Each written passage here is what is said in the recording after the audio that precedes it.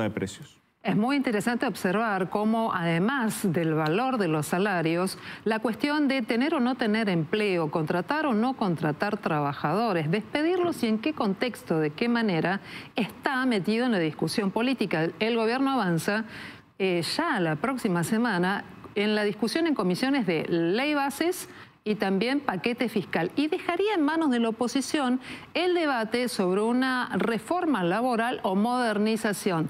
Alejandro Cacase es el secretario parlamentario de la Unión Cívica Radical, que en las últimas horas estuvo en la Casa Rosada junto a un grupo de legisladores. Allí conversó con un hombre muy poderoso del gobierno, es el jefe de gabinete de ministros, Nicolás Pose, y queremos saber si finalmente hay algún tipo de consenso para empezar a debatir este tema, que a veces se ha convertido, Alejandro, buenas noches, en un tema tabú cuando tenemos que generar un escenario en el que se, se observan por un lado los derechos adquiridos y por el otro lado los índices de desempleo o la, o la necesidad de contratar. ¿Cómo estás?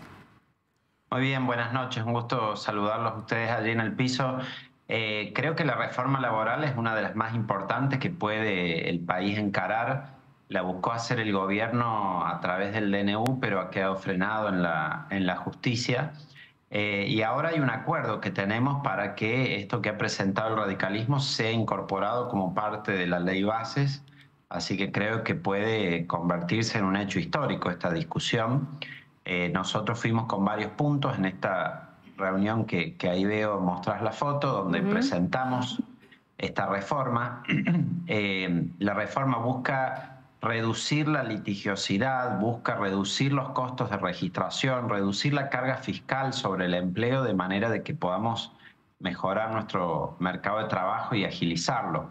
Entre sus medidas hay una fiscal muy importante que es eh, quitarle las contribuciones eh, patronales a los salarios mínimos hasta cinco empleados. Esto haría que los salarios más bajos ingresos y sobre todo eh, las pymes tengan una facilidad de registración mucho mayor. Por ejemplo, ahí discutíamos el ejemplo de un kiosco de cinco empleados que hoy los tiene en negro porque no puede afrontar las cargas laborales y esto permitiría registrarlos que tengan aportes jubilatorios, que tengan obra social, pero sin eh, tener ese costo laboral para la empresa que le es tan eh, difícil operar. Quedaría eh, solo por, el aporte del trabajador. Esta es una de las cuestiones que, que preocupan al que quiere emplear.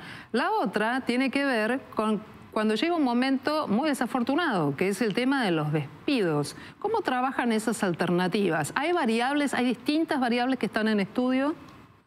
Sí, primero estamos derogando muchas de esas multas eh, que existen en distintas leyes y que complejizan tanto el cálculo de, de indemnización al momento del juicio y que hacen que alguien por ahí no quiera ni contratar porque no sabe lo que va a terminar afrontando pagar al momento del despido. Entonces estamos simplificando eso drásticamente, solo dejando una multa por no registración.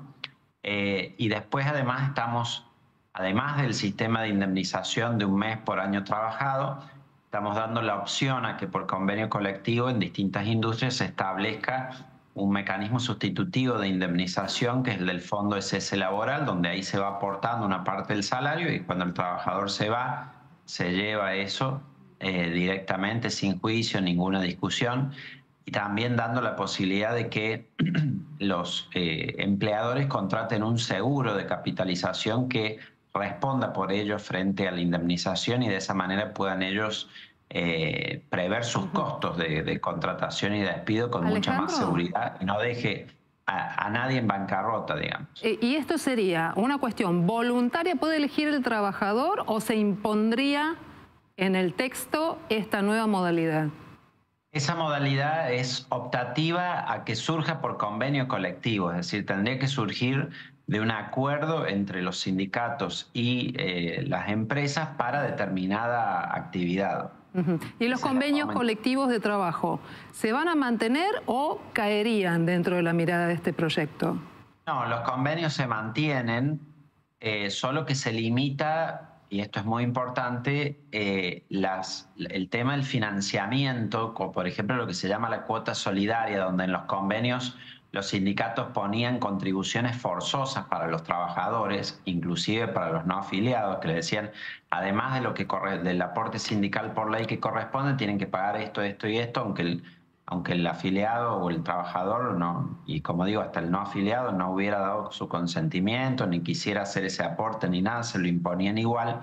Ahora estamos proponiendo una prohibición de eso lo cual obviamente eh, va a generar una discusión fuerte con los sindicatos, eh, pero me parece que tenemos que promover la libertad sindical, promover que si alguien quiere integrar un sindicato lo haga voluntariamente y que no sea eh, forzado a contribuir dinero donde no quiere. Esto, esto me parece va a ser un cambio importante de paradigma sobre la organización del trabajo en nuestro, en nuestro país. Alejandro, ¿qué tal? Buenas noches. Te saluda Leandro Dario. En este gobierno todos los precios se liberaron de la economía, tarifas, servicios públicos, prepagas, educación. El único precio regulado parece ser el de salario, porque justamente el propio ministro de Economía dice que algunas paritarias el Ministerio de Trabajo no, no las va a homologar. Eh, ¿Cómo van a hacer ustedes desde el Congreso para que esta reforma laboral justamente no abone la tesis de que es proempresaria y antitrabajadores? Bueno, por supuesto que el, mercado de trabajo es un mercado muy particular, sobre todo por la inelasticidad que tiene, porque todo el mundo quiere y necesita trabajar. Eh, tiene un, piso de precio, que es el salario mínimo que se ha fijado y que se ha aumentado, pero por supuesto, producto de la inflación, el, salario real se va atrasando y esa es la gran preocupación. Yo creo que lo que nosotros necesitamos es estabilizar nuestra macroeconomía, terminar con la inflación y el crecimiento de la economía va a ser el que permite el crecimiento del salario real de los trabajadores. No hay forma, y esto es obvio lo que voy a decir, pero es importante resaltarlo, no hay forma que haya trabajadores ricos en una economía pobre. Entonces, a veces nosotros tratamos por decreto de resolver lo salarial y dar aumentos y, y que el Estado obliga a las empresas y demás, pero si la economía no crece, la economía no funciona, no hay forma de que distribuya riqueza para nadie. Entonces, necesitamos contener la inflación, por supuesto que hay que dar garantías a los trabajadores. Esto, más que pro empresa, es pro mercado de trabajo, de que funcione, porque hoy hay tanta rigidez en el mercado de trabajo que cuando hay inflación y recesión, el salario real pierde pero cuando la economía crece no recupera empleo como en otros países cuando, cuando hay crecimiento económico. Entonces necesitamos generar las condiciones para que cuando la economía crezca, porque eso es lo determinante para generar empleo, yo puedo tener la mejor ley laboral del mundo, pero si la economía crece, nadie va a contratar, a, no crece, nadie va a contratar a nadie, pero entonces necesitamos generar las condiciones para que cuando crezca la economía, las leyes laborales estén a punto para que las empresas se animen a contratar. Bueno, la otra cuestión que hay que tener es que las posiciones en ese esquema no son las mismas, ¿no? No, no es, no es eh, la misma situación la de un trabajador asalariado que la del empleador que tiene una empresa para poder generar empleo muy, muy, muy breve, porque estamos cerrando. por supuesto, por eso están regulados los derechos laborales, de lo contrario no haría falta ningún tipo de regulación. Pero acá estamos regulando, solo que estamos cambiando la forma en que lo hacemos. Perfecto, bueno, para mirar muy, muy, muy de cerca entonces. Te quería preguntar si se va a mantener el esquema de libre elección de obras sociales, que va a pasar con ese financiamiento de las obras sociales. Es un tema muy sensible, por ejemplo, para la CGT. Y si ustedes han hablado ya con, con los dirigentes sindicales, como para saber si hay alguna posibilidad, algún rango de que esto avance. El peronismo ya anticipó, por ejemplo, en el Senado, que va a rechazar cualquier fórmula que contraríe los derechos laborales? Em, lo de obras sociales está regulado en el DNU, que, que, entra en la regulación del sistema de salud más allá de lo laboral, así que eso debiera seguir su curso.